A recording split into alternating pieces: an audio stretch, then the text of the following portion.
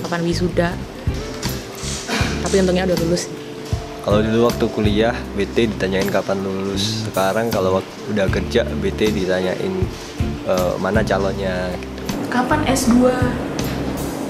Kalau akhir-akhir ini kapan punya pacarnya, terus kapan nikahnya? Kapan nikah? Kapan lamaran?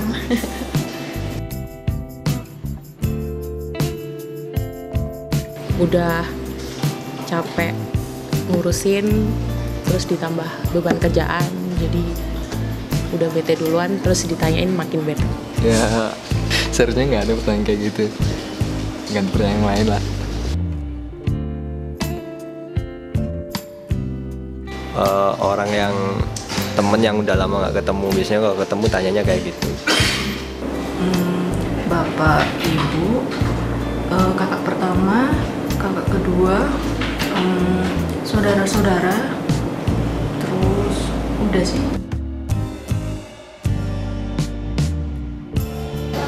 Doain aja deh. Kamis Kamisun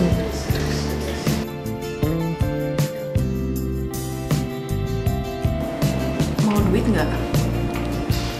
Ditanya mau tak traktir makan nggak?